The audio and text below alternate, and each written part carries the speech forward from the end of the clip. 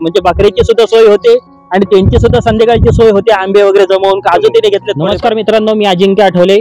मी आज माझ्या आंब्याच्या पाखरेमध्ये आहे म्हणजे ही आंब्याची पूर्णपणे पाखर आहे. ही जवळजवळ चाळीस एक वर्षाची जुनी आंब्याची हापूस आंब्याची कलम आहेत. या ठिकाणी लावलेली आणि दरवर्षी या झाडांना बऱ्यापैकी चांगला आंबा येतो. आम्ही घरी खाऊन बाजारामध्ये नेऊन विकतो आणि त्यातनं आम्हाला चार पैसे मिळतात या आंब्यामधनं. तर आता इथे कोकणामधलं वातावरण सुद्धा जाम खराब आहे. म्हणजे बरंचसं वातावरण आता बदललेलं आहे चेंज झालेलं आहे. आणि आज सकाळपासून जवळजवळ पाऊस येईल असंच वातावरण या ठिकाणी तयार झालेलं आहे. आणि आज वादळी वारा सुद्धा मोठ्या प्रमाणावर आज इथे सुटलेला आहे. आणि इथे उष्णता जास्ती आहे त्यामुळे आंब्याची सुद्धा गळ चालू आहे या ठिकाणी आता डोंगराच्या खाली इथं मी माळावरती आता उभा आहे. आणि माळाला लागूनच कडेला पाखर आहे. या पाखरेमध्ये आंब्याची बरीचशी हापूस आंब्याची झाडं आहेत. तर हे जे आता आपल्याला झाडाखाली दिसते हे हापूस आंब्याचे बाटे खाऊन पूर्णपणे टाकलेले आहेत. आणि काही हा बघा असा अर्धवट सुद्धा आंबा खाऊन इथे पडलेला आहे. तर हे आंबे कोण खातं? तर रानातले जे काही माकडं वगैरे आहेत वांद्र आहेत ती इथे येऊन खातात. या आंब्यावर चढून इथे आंब्याच्या फांद्या वगैरे हलवतात आणि तो आंबा खाली पडतो आणि मग ती वांद्र या असे आंबे खातात. त्यामुळे इथे जवळजवळ चार एक चार पाच डझन आंब्याचं इथे मोठ्या प्रमाणावरती आंब्याचं एक प्रकारे वातावरण आता बदललेलं आहे ना आपल्याबरोबर आता हे बघा गावातले हे सुद्धा इथे आता फिरत फिरत आलेले आहेत. आंबे वगैरे जमवते काजू घेतले त्यांनी हे काय पिशवीमध्ये तिने आंबा काजू आणले आणि त्यांच्याबरोबर बकरा सुद्धा आलेला आहे म्हणजे त्याचं सुद्धा ते आता पोट भरण्याचं काम करतात. म्हणजे बकरीची सुद्धा सोय होते आणि त्यांची सुद्धा संध्याकाळची सोय होते आंबे वगैरे जमवून काजू तिने घेतले थोडेफार. तर आजच्या या वातावरणाविषयी काय सांगाल? आता या वातावरणाविषयी म्हणजे बोलायचं तर सगळीच परिस्थिती बिकट झालेली आहे. बिकट झालेली. आंबे पडतायत काजू पडतायत त्यामुळे शेतकरी हवालदिल झालेला आहे. आणि खरं पाहता तर आता काय चारा वगैरे काय खायला राहिलेला नाही पूर्वीचा बकऱ्यासाठी. बकऱ्यासाठी. सगळी एकूण अशी परिस्थिती आहे. म्हणजे हा बकरा तुम्ही घेतला होतात ना. म्हणजे दरवर्षी येतात धनगराकडे हा दरवर्षी घेतो. आणि त्याला म्हणजे लहानाचा मोठा करून यातनं. चार पैसे तुम्ही कमवता. हा म्हणजे व्यवसाय माझा. व्यवसाय. हा. आणि आता जो हा आंबा वगैरे गळतोय ह्याच्याविषयी काय सांगाल? ह्याच्याविषयी काय सांगणार? आता शेतकरी एवढा हवालदिल झालाय की काय सांगणार? म्हणजे कधी पाऊस कधी पडतोय पाऊस पडतो अवकाळी पाऊस पडतो त्यामुळे सगळं काही परिस्थिती आजची अशी आहे. आता पण पाण्याचे ठेंब पडतायत. आणि हे आता तुम्ही आंबे आंबे वगैरे वगैरे जमवले. जमवले आता बघताय तुम्ही मग या पुढे काय? समोरच करवंदीचे झाड आहे.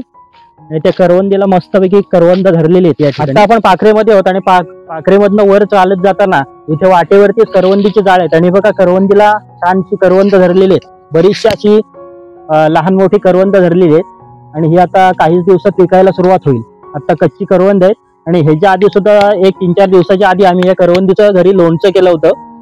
लोणचं सुद्धा खायला छान म्हणजे चांगलं चांगलं लागतं. आणि इथे बरीचशी लोक करवंदीचं लोणचं दरवेळेला या सीझनमध्ये करवंदीचे करतात. हे मी इथेच पाखरेतल्या पानाचा असा मी छोटासा इथे हा द्रोण तयार केलेला आहे. आणि या द्रोणमध्ये मी आता ही करवंदीच्या जाळीवरची करवंद मी काढणार आहे. आणि ही घरी मी आता नेतो इथली थोडीशी करवंद काढून.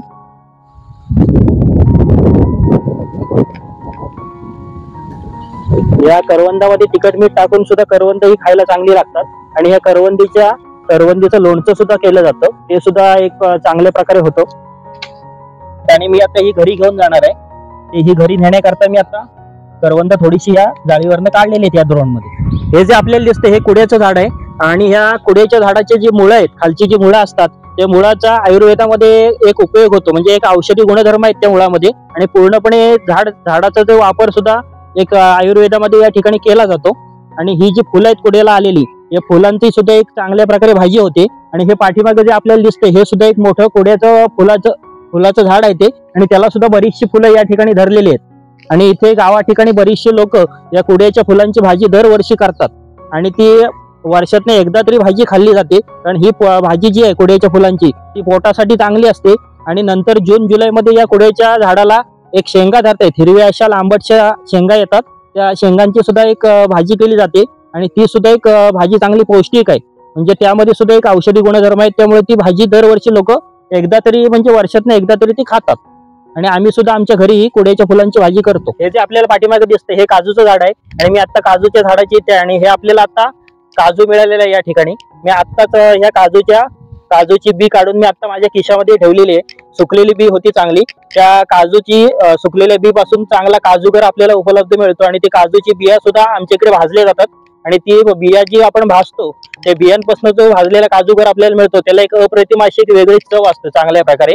म्हणजे जो आपण बाजारचा काजू खातो आणि ही जी काजू म्हणजे जो ओरिजिनल काजू आहे कोकणातला सुका आणि तो जो आपण इथे शेतावरती भासतो आणि त्या काजूला जी चव आहे ती बाजारातल्या काजूपेक्षा एक वेगळी चव आता या ठिकाणी अवकाळी पाऊस त्याचप्रमाणे वादळी वाऱ्यासारखे या ठिकाणी वातावरण आता इथे निर्माण झालेलं आहे. आणि इथे आता जे काही वादळी वाऱ्यासारखे वातावरण निर्माण झाले त्यामुळे इथे आंबा फणस काजू यांचं मोठ्या प्रमाणावरती नुकसान होण्याची शक्यता आहे. जर का पाऊस पडला तर.